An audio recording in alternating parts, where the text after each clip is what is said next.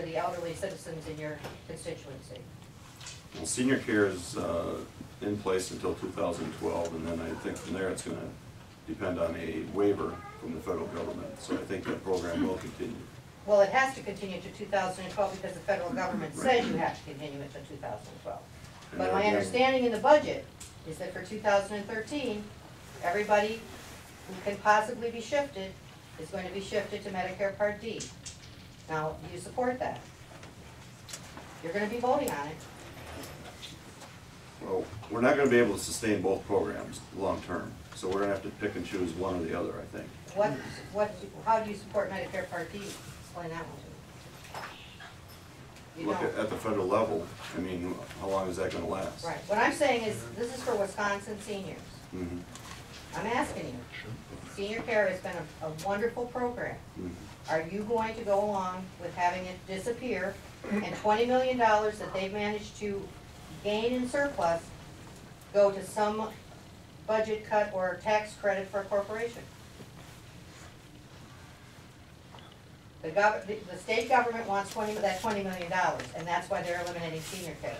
It's been successful and it hasn't cost the state much of anything. And it's helped a lot of people Yeah. older farmers who didn't have insurance or the best insurance, they've been able to depend on senior care to help them. mhm.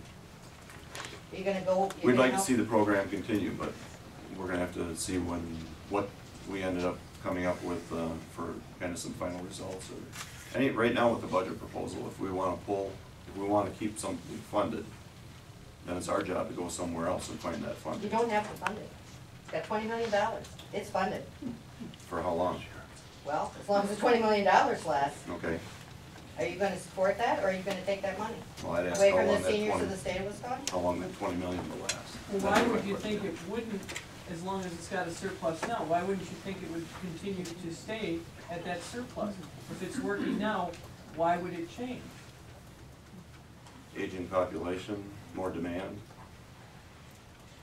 But why, but why mess with it? Right now, we're looking at twenty million dollars in a, in a budget that's three point six billion, I mean. But it's twenty million dollars, it means a lot to your constituent, Right. aging citizens. Mhm. Are you gonna go to the mat for your constituents, or are you gonna rubber stamp something that the Republican governor wants you to rubber stamp? I'm asking you to consider Mhm. caring about senior care for the, the elderly in your constituency.